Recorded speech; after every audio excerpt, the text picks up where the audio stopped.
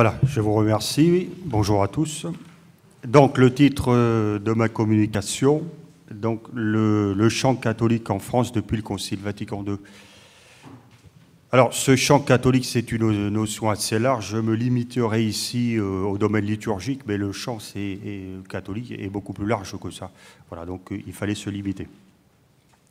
Alors le Concile Vatican II, ça a été dit ce matin déjà, je vais que le dire rapidement, euh, en autorisant l'usage des langues vernaculaires dans la liturgie, a permis la production d'œuvres, évidemment en français. Cette production est rapidement devenue importante et diversifiée. La qualité euh, de ces chants a parfois été, euh, et assez vite en fait, remise en cause par les partisans du latin. Alors, je pense à la CIMS, hein, qui est la euh, Consociation Internationalis Musicae Sacrée, euh, mais également par l'association Una Voce, ainsi que par des organismes qui étaient liés à l'épiscopat français, je pense au CNPL, ou plus indépendants comme l'Union fédérale française de musique sacrée, dont il a été aussi un peu question ce matin. Alors je me poserai la question suivante. Euh, quelle a été l'évolution euh, du chant liturgique en France depuis Vatican II euh, Ça va m'amener à traiter trois points. Tout d'abord, un chant catholique en pleine transformation dans la seconde partie des années 1960. Deuxièmement, un grand élan de création dans les années 1970. Et puis enfin, un répertoire diversifié mais aussi éclaté des années 1980 aux années 2000. Alors premièrement, le chant euh, catholique en France en pleine transformation dans la seconde partie des années 1960. On va d'abord regarder le rôle du CNPL et de l'Union fédérale dans le développement des chants liturgiques en français. Alors en 1965, à la suite de Vatican II, le CPL, qui devient à ce moment-là CNPL, Centre national du pastoral liturgique, donc se met en place et très vite il prend des initiatives. Le père Hume, dans ce cadre-là, qui est un dominicain, joue un rôle très important. Euh, il avait déjà un rôle important dans le CPL, il aura encore un rôle important aussi dans le CNPL. Alors c'est quelqu'un qui euh, n'aura de cesse de lutter contre le simplisme, ce qu'il appelle le simplisme, qu'il observe dans la mise en place de la réforme liturgique. Ses réflexions prenaient bien sûr en compte les chants, dont il constatait que nombre d'entre eux euh, péchaient, je cite, par manque de consistance théologique et de mélodie harmonieuse. Alors, dès 1966, le CNPL va opérer une première sélection de chants au sein d'une production devenue pléthorique et parfois aussi de piètre qualité.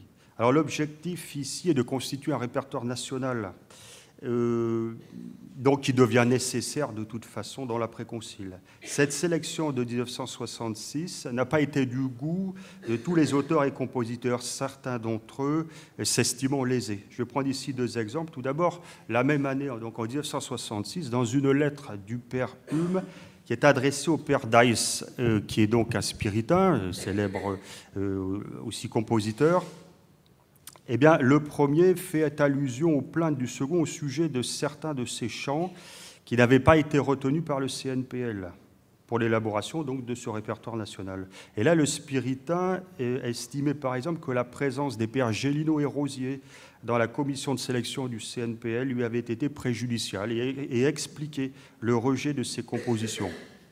Autre exemple, toujours dans la sélection de 1966, dans une autre lettre du père Hume au père Geoffroy, qui est jésuite. Euh, là, il évoque la déception du second, donc de ce jésuite, de voir deux de ses cantiques issus du recueil euh, Gloire au Seigneur, sera, dont il, a peut-être sera peut-être question par la suite. En tout cas, euh, deux de ces chants de Gloire au Seigneur ne sont pas retenus et ça, il n'apprécie pas beaucoup. Alors, les implications du CNPL dans le domaine du chant et de la musique liturgique, euh, se sont traduites par la naissance aussi de l'une de ces branches qu'on appelle la clé, la commission liturgique pour l'élaboration. Excusez-moi, il y a beaucoup de sigles. Hein, donc voilà. Alors cette clé a été voulue donc par la commission épiscopale de liturgie, la CEL, pour promouvoir de nouvelles compositions littéraires et musicales, donc à la suite de la publication euh, de l'instruction Musicam Sacram. Alors, en 1968, la, clé, euh, à l'initiative du père Jacques Cellier, donc un Lyonnais, euh, a mis en place aussi des contrats avec les auteurs euh, qui vont donner naissance à des copyrights de manière à protéger les textes. Ça, c'est quelque chose de très important parce que dans le chant, je m'en suis aperçu en travaillant sur cette question-là, dans le chant et la musique euh, religieuse, il est question en fait de beaucoup d'argent. C'est pas forcément dit officiellement, mais ça revient sans arrêt. Et donc, cette question des copyrights est tout à fait importante. Alors, euh, rapidement, la clé va connaître des difficultés dues à sa lenteur, à des querelles aussi parfois d'intérêt. Alors, au début des années 1970, euh, la clé euh, va se pencher d'assez près sur les chants composés par Raymond Faux, ainsi que par Odette, par Vercruis. Alors, concernant Raymond Faux, la clé va se montrer clairement hostile à ses compositions, tant sur le plan spirituel euh, que théologique, tout en essayant de comprendre les raisons euh, qui expliquent le succès, en tout cas de certaines de ses compositions. Alors elle précisait justement, à propos de Raymond Faux, avec des textes et des musiques simples jusqu'à la pauvreté. Raymond Faux touche juste. Pourquoi? Beaucoup de tendresse, un ton juste, exactement adapté à un public qu'il connaît bien. Raymond Faux touche parce qu'il a l'art du dialogue. À nous peut-être de réfléchir à cet aspect du travail de création trop souvent abstrait du public pour lequel on écrit. À noter aussi que chez lui, la frontière entre prière et poésie n'est pas toujours rigoureuse. En chantant la vie, la nature, l'amour, la joie, entre parenthèses, sujets les plus communs qui soient, se trouver des campagnes, dit en même temps sa foi tranquille et souriante sans faire de sermon, et c'est ce qui est efficace. Quant à Odette Vercruis, là, la clé va considérer les paroles de ses chants comme banales.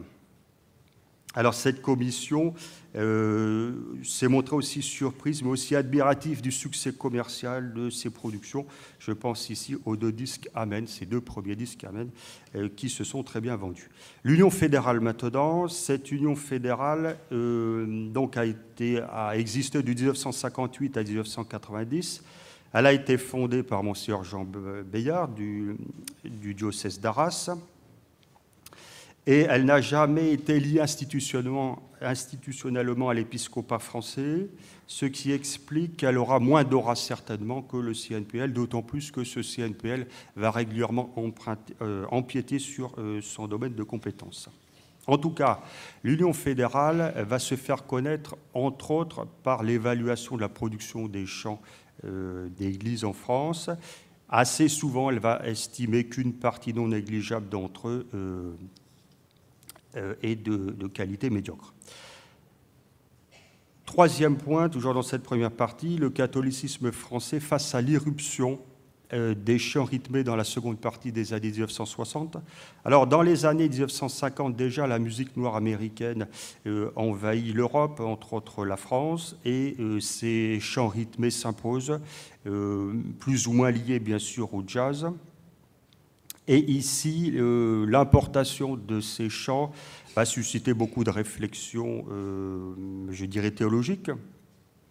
Et l'un de ses partisans importants est le père Maurice de Bézieux, qui est un fils de la charité, et qui, par exemple, va avoir, à travers l'introduction des musiques jazz, comme il dit dans la liturgie, un moyen de lutter contre la désaffection des jeunes vis-à-vis de l'institution ecclésiale et surtout euh, un moyen finalement euh, d'assurer leur présence euh, à la messe. Alors pour ce prêtre, par exemple, il faut faire prier les jeunes avec leur rythme. Je le cite ici.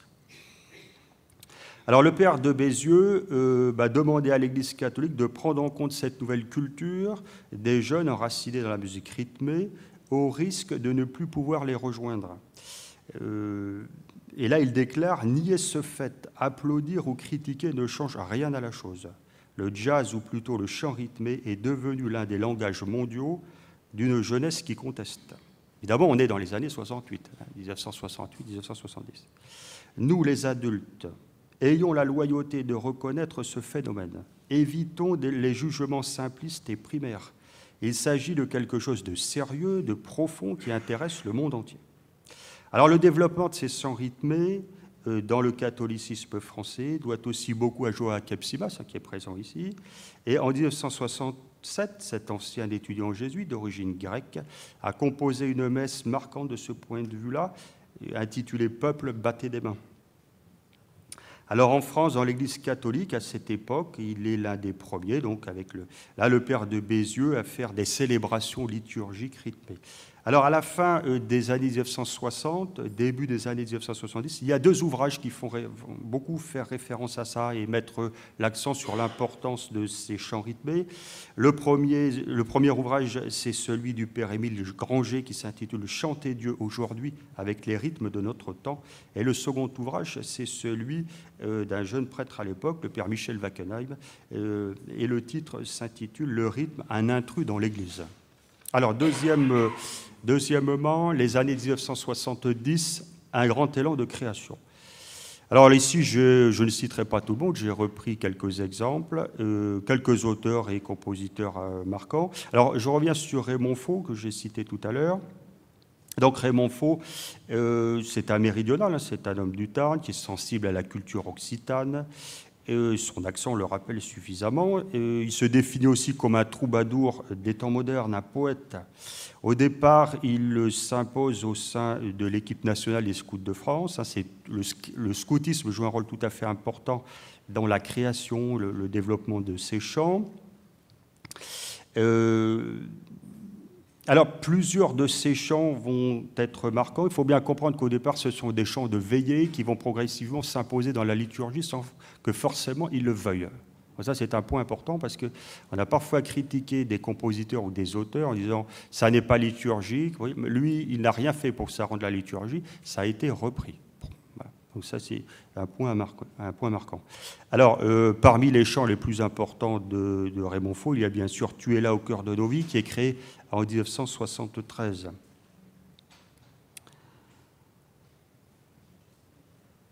Alors comment expliquer ben, ce succès? Il y a plusieurs éléments, je ne vais pas tous les reprendre. Il y a tout d'abord le fait que Raymond Faux a beaucoup travaillé avec Studio SM, dont je reparlerai. Ici, on ne peut pas parler du chant liturgie sans parler de Studio SM. On n'en parle pas suffisamment d'ailleurs quand on fait l'histoire de ces chants, à mon avis. Donc là, il va y avoir un outil de production tout à fait important. Je pense aussi euh, à la maison d'édition des Scouts de France, les presses d'Île-de-France, euh, qui jouent aussi un rôle important dans la diffusion des chants euh, de Raymond Faux. Alors, ici, il y a une autre explication qui permet de comprendre le succès des œuvres de Faux, de Raymond Faux. Alors, il y a certainement la simplicité, la facilité aussi à ce que ces chants soient appris, retenus par des animateurs de chants, désormais essentiellement des laïcs après le Concile Vatican II, qui n'ont pas toujours une formation musicale très approfondie et qui se, voilà, euh, reprennent ces chants avec, euh, avec aisance bien souvent. Deuxième euh, nom que l'on peut citer, c'est le père Didier Rimaud, jésuite. c'est surtout un poète, un poète entre guillemets religieux. Euh, c'est quelqu'un qui se forme auprès de deux autres jésuites, les pères Geoffroy et Gélineau, hein, auprès d'un laïc important pour lui aussi qui est euh, Patrice de la Tour du Pin.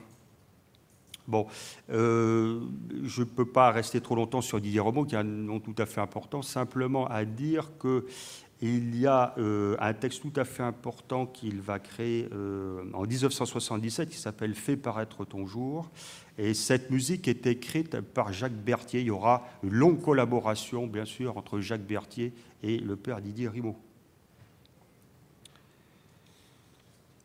Odette Vercruy, citée aussi tout à l'heure, euh, cette, euh, Odette Vercruy est à la fois infirmière, elle, enseigne également la musique, elle est du diocèse de Lille, et elle va ici euh, beaucoup collaborer, elle va être intéressée euh, énormément à la musique jazz et elle, elle a écrit plusieurs chants très importants. Qu'elle compose plutôt entre 1960 et 1965. J'en cite deux simplement, Les mains ouvertes et puis aussi Je cherche, des chants qui vont être popularisés essentiellement par John Littleton avec, lequel elle va beaucoup collaborer.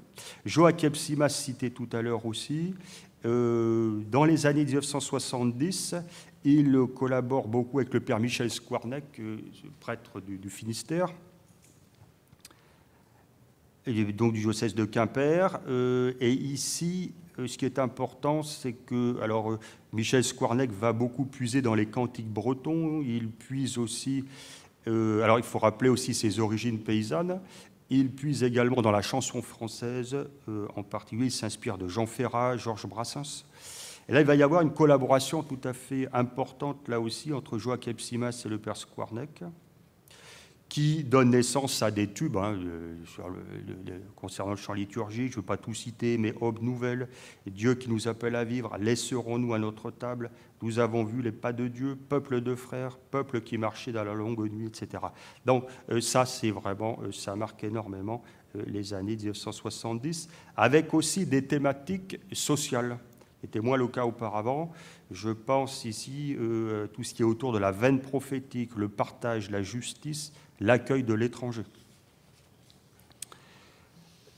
Alors, dans cette création tout à fait importante, qui va parfois un petit peu aussi dans tous les sens, on a le rôle très important de la CFC, la Commission euh, francophone cistercienne, euh, qui va devoir créer des champs pour le monde monastique, d'abord pour les cisterciens, pour les bénédictins également, et là, bien souvent, il faut euh, tout créer parce que ces, ordres monastiques ont compris que euh, traduire en français des chants euh, issus du latin dans le cas du grégorien, ça ne fonctionne pas très bien, donc ils se, mettent complètement à l'ouvrage.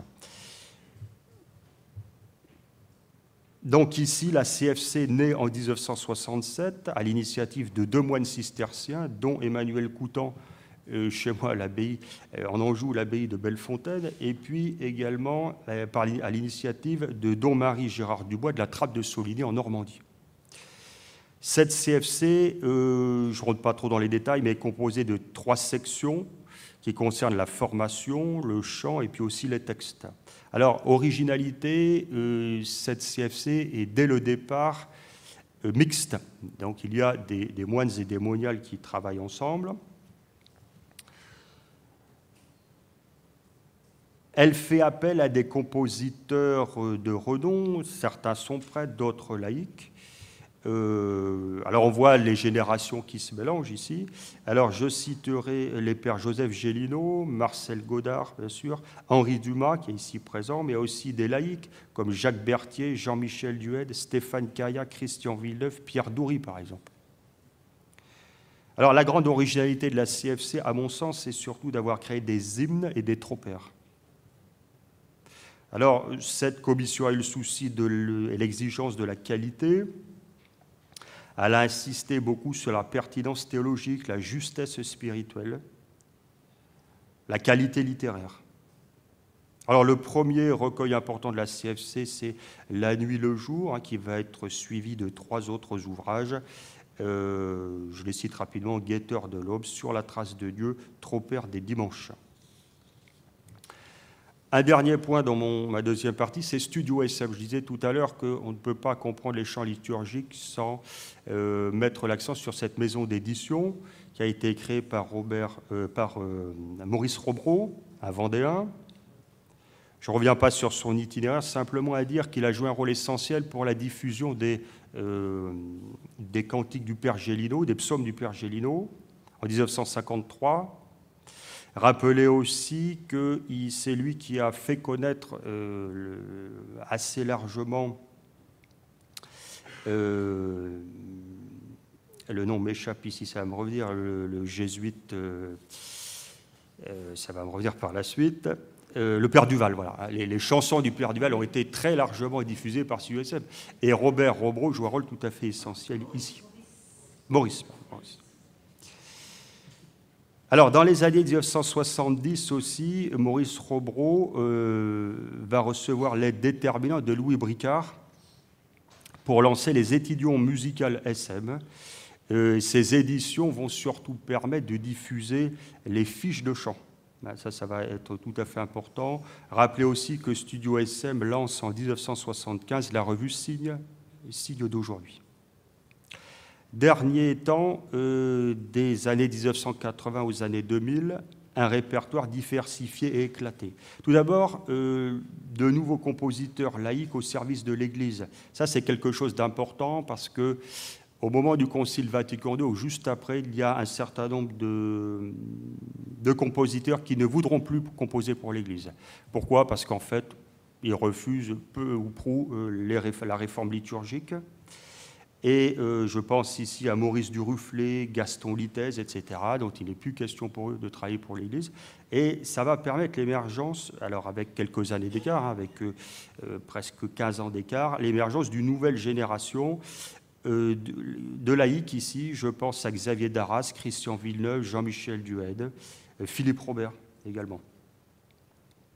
Donc ces auteurs, en réalité, vont beaucoup travailler pour les communautés monastiques, beaucoup plus que pour les paroisses, puisque on dit souvent qu'il faut trois ans pour que, euh, je pense que les spécialistes ne vont pas me démentir, pour qu'un chant soit appris dans une paroisse, soit retenu, alors que les communautés monastiques sont beaucoup plus demandeuses. Donc ces hommes-là vont surtout travailler euh, pour des communautés religieuses et surtout monastiques.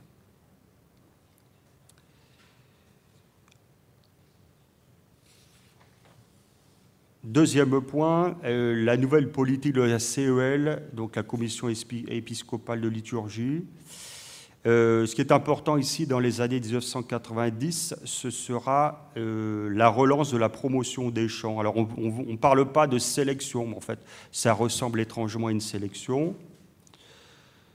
Ici l'homme important est l'évêque de euh, Nevers, Monsieur Moutel, et qui veut s'occuper de manière, je dirais peut-être plus sérieuse, de la question du chant et de la musique, surtout des chants liturgiques. Euh, alors pourquoi cet intérêt? Bah, Tout simplement parce qu'il reçoit de nombreuses lettres de fidèles qui ne sont pas très satisfaits des chants liturgiques, pour aller très vite. Alors le constat dressé par le président de la CEL, donc M. Moutel, est sans appel et manifeste une nette déception. Et il écrit ceci. Nous sommes souvent réservés sur la valeur du répertoire effectivement connu et utilisé beaucoup de textes paraissent pauvres et approximatifs, insuffisants pour porter la prière chrétienne et pour éduquer une expression juste de la foi. Les formes musicales ne semblent pas toujours les plus adéquates aux exigences de la célébration. Nous ne sommes pas les seuls à nous interroger. Des responsables diocésains, des pasteurs, des membres d'équipes liturgiques avouent leur perplexité, perplexité pardon, devant la surabondance des productions actuelles, où tout se mêle dans une confusion des genres qui entraîne facilement l'érosion du goût et de la sensibilité du peuple chrétien.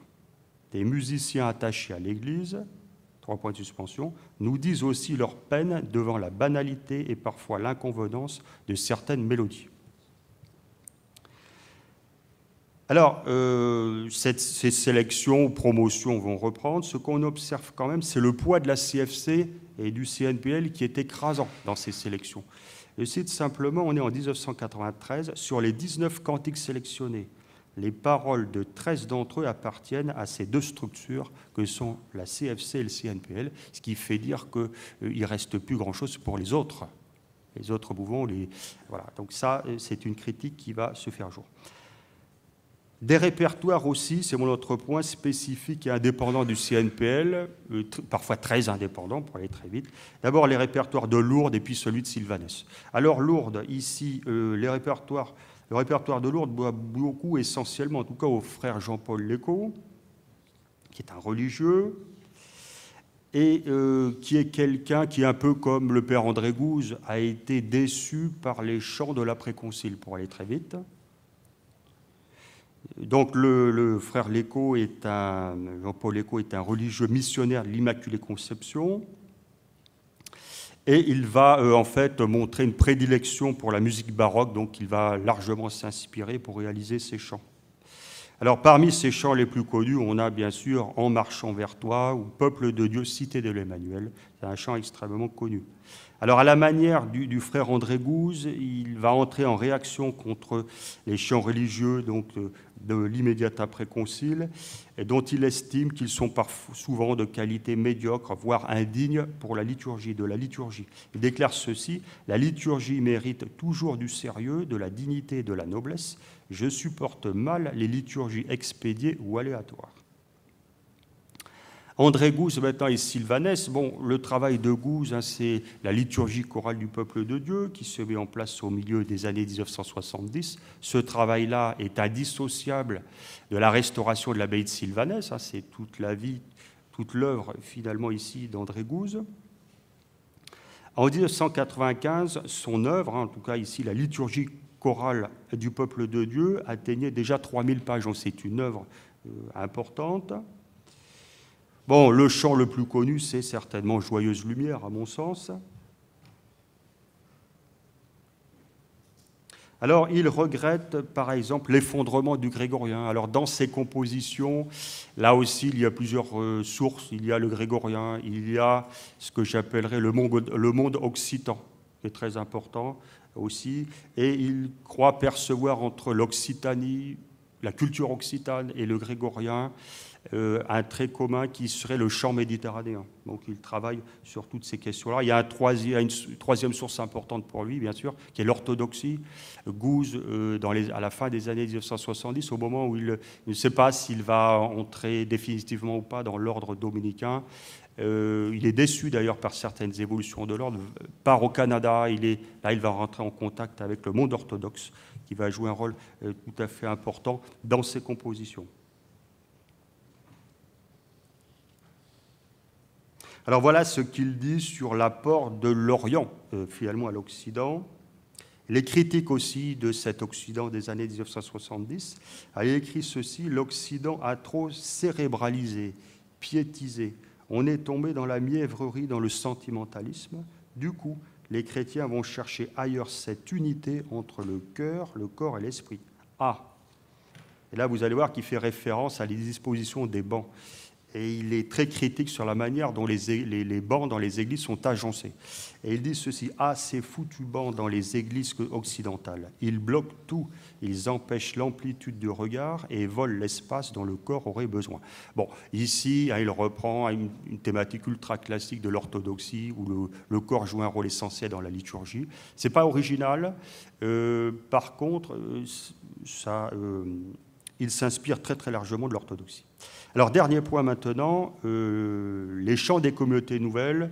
J'ai sélectionné l'Emmanuel et le chemin neuf. Pourquoi je ne parle pas des autres? Parce que dans les autres cas, il s'agit moins de chants liturgiques. Donc, par rapport au sujet, j'ai sélectionné ces deux-là.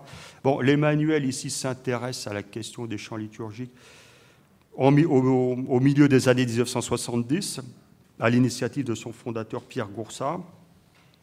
Euh, l'idée ici, c'est euh, de travailler en particulier avec Charles-Éric Hogel, qui sera euh, au départ celui qui va créer un certain nombre de chants.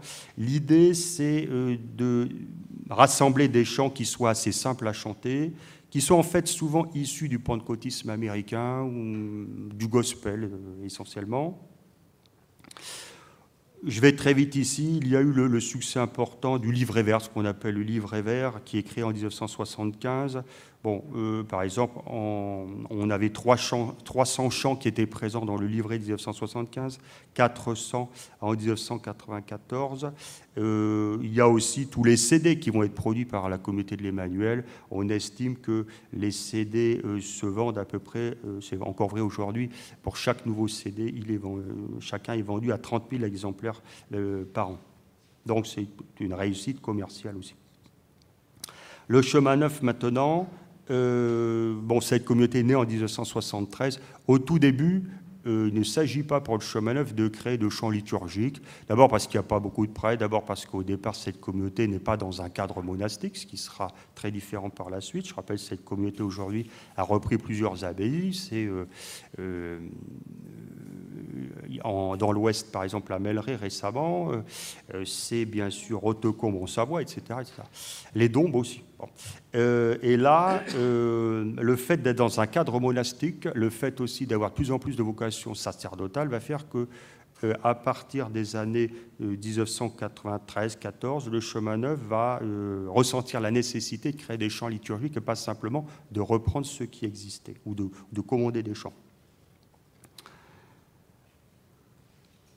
Voilà. Euh, alors, conclusion, parce que je vais dépasser. Alors, le Concile Vatican II, euh, en décidant que les célébrations liturgiques euh, puissent avoir comme support les langues vernaculaires, va permettre une importante production de chants français, donc depuis le milieu des années 1960. Force est de constater que la qualité n'a pas toujours été au rendez-vous, en même temps qu'il y a eu d'excellentes réussites aussi. il y a eu aussi des polémiques parfois vives qui se sont développées par la suite. Alors, ces polémiques sont quand même la preuve, s'il fallait encore le démontrer, que le chant et la musique sont à l'intime des célébrations liturgiques. Voilà, je vous remercie.